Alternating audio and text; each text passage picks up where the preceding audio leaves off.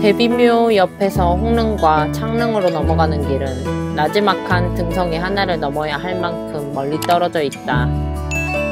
현재 홍릉은 비강 옆으로 길이 나 있으나 원래는 금천교를 건너 들어서게 돼 있었다.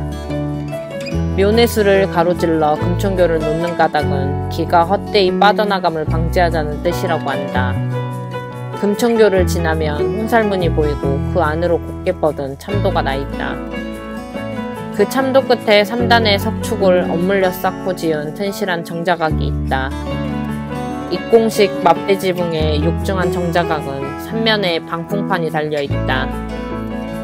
홍릉의 주인인 영조의 정비 정성왕후 서씨, 달성 부원군 서종제의 딸로 태어나 1704년 13세에 숙종의 둘째 아들 영조와 혼례를 치렀다.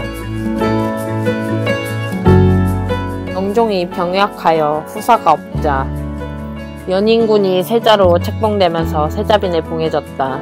1824년 영조가 즉위하자 왕비가 되었으나 후사 없이 66세를 일기로 세상을 하직해 이곳에 묻혔다.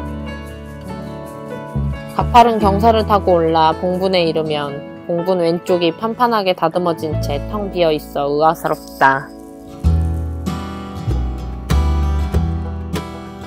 복장은 분명 두 기의 봉분을 감싸 안을 요량으로 둘러쳐져 있으나 봉분은 오른쪽 하나뿐이다. 생전의 영조는 바로 이 옆자리에 누울 예정으로 자신이 안치될 정열에 십자를 새긴 돌을 묻어두었다고 한다.